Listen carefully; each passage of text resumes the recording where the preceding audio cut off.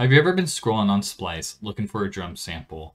You're looking for a hi-hat, a snare, and a kick. You find something you really like, like let's just say this snare. You notice that it has a little bit of lead in into it, and it sounds really good.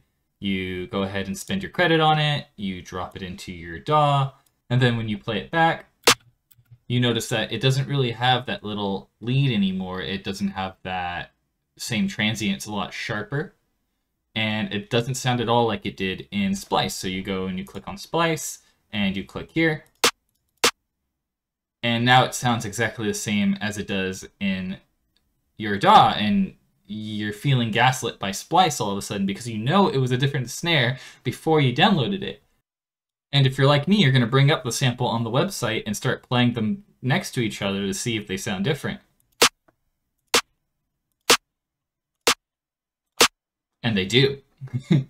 so at this point, if you're like me, you're going to spend hours and hours searching into the night, looking for an answer or an explanation on why this is. You'll find an article on Splice that is completely irrelevant. You'll find some dude that tells you that Steve Duda explains it in a forum six years ago. Your wife will text you at four in the morning telling you to come to bed. You'll you'll lose your mind. You'll you're you're gonna go crazy. So now that I've made you suffer, as I have suffered, I'm gonna tell you what's happening when you preview a sound on Splice, it's not in the wave format that the sound comes in when you download it. It's actually in MP3 format at around a sample rate of 32,000.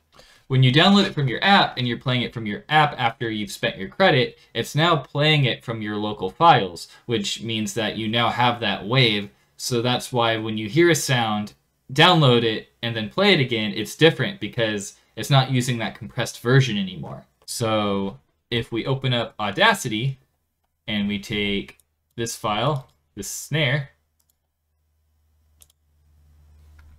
and we drop it into Audacity, we go to export audio, we make it MP3, and we bring the sample rate down to 32,000 hertz. And let's just say we Fix it up. Export it. Now when we listen to the snare, it sounds almost exactly like it does on the Splice app before you download it. You're welcome. If you throw it in Ableton anyways after doing this and it still doesn't sound quite right, Ableton actually has this setting in Record Warp Launch where it kind of creates fades on clip edges, which automatically kind of messes with the transients of some of your sounds. You can turn that off, and that should also help. If you haven't done that already, I'm assuming if you're this far and you found my video, you've already tried this, because that was something that's suggested online a lot of times, even though that's not really the solution or what's really happening. It's just Splice. It's Splice's fault. If you found this video helpful, please subscribe and please comment. I read all of my comments. And if you check out my Patreon, I have 100 serum and vital presets on there for just a few bucks. Please check it out. Uh, otherwise, thank you for watching this video and have a good day.